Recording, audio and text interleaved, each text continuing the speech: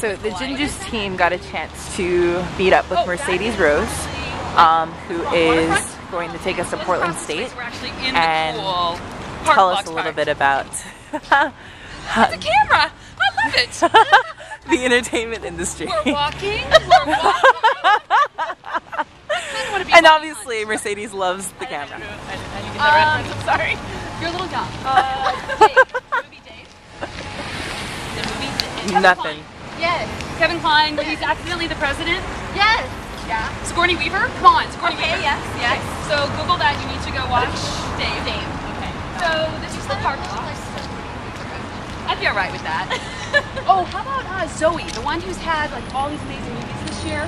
She was in Star Trek. Yes, Zoe Saldana. Yes. Okay. Okay, so she's kind of awesome. I love her. She's been in Oh. everything big right now. She was in Pirates of the Caribbean. You know, it's like I kind of just want everything big.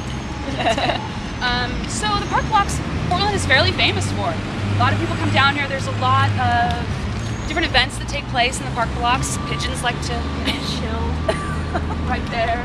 Um, Portland pigeon. a lot of pigeons. Uh, Portland State, a little bit further up. So that's why we get a lot of people hang out down here, homeless and otherwise. So, do you guys want to just chill on a park bench? Or? Yeah. Yeah. Hey, that works.